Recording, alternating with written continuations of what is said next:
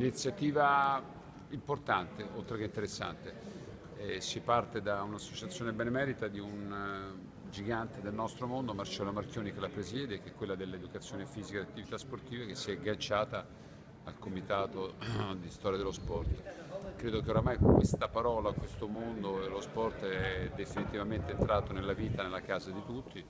Ovviamente ci sono attenzioni e sensibilità, eh, mondi che lo possono interpretare meglio o meno bene, però noi stiamo facendo un grande sforzo per spiegare quanto è fondamentale sia a livello eh, agonistico, sia a livello della pratica per tutti, sia a livello sociale, sia a livello anche economico, perché quello che può dare lo sport in beneficio al sistema, anche in termini di risparmio, di sanità pubblica, di spesa, è veramente molto importante.